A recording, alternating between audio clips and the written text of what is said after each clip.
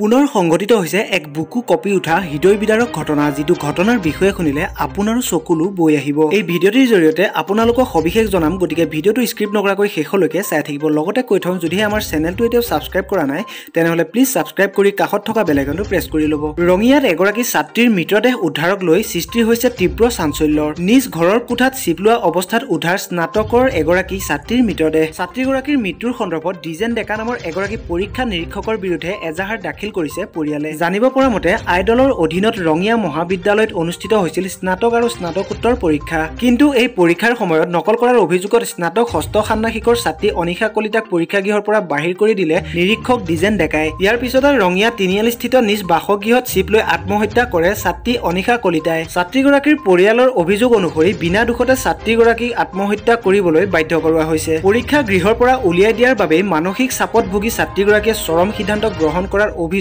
পৰিয়ালৰ। যাৰ বাবে পৰীক্ষা নিৰীক্ষক ডিজেন ডেকাৰ বিৰুদ্ধে ৰঙিয়া আৰক্ষী থানাত এজাহাৰ দাখিল কৰিলে পৰিয়ালে। ঘটনাৰ প্ৰকৃত ৰহস্য আৰক্ষীৰ তদন্তৰ পিছতহে পোহৰলৈ আহিব। সঁচাকৈ খবৰটো শুনি খুবেই দুখ লাগিল। ভিডিঅ'টো ইমানেই আছিলে এনেধৰণৰ খবৰসমূহ পাই থাকিবৰ বাবে আমাৰ চেনেলটো ছাবস্ক্ৰাইব কৰি কাষত থকা বেলেগনো প্ৰেছ কৰি ল'ব। ভিডিঅ'টো শেষলৈকে চোৱাৰ বাবে ধন্যবাদ।